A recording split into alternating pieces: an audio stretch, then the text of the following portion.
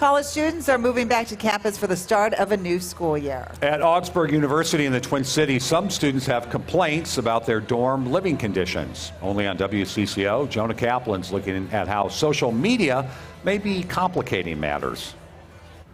Look, dorm rooms, they're not known to be luxurious accommodations. Still, there's actually some important lessons here process, patience, and accountability.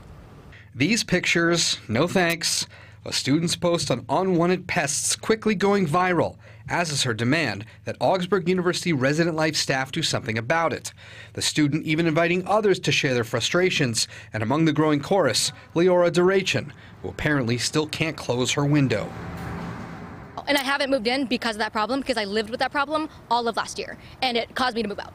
Augsburg administrators declining multiple requests for an interview and instead sending us a statement arguing students need to actually follow protocols to submit complaints through an online portal. And while 750 students just moved in, there have only been about 10 complaints so far. An Augsburg spokeswoman adding maintenance is fully staffed and the aim is to address issues within five business days.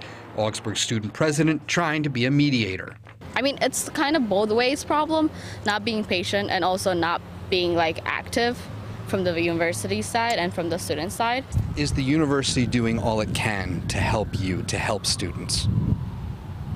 I'll say 80%, not fully. The university also telling us Residence Life is meeting with every floor this fall to explain the facility's request system. Jonah Kaplan, WCCO 4 News.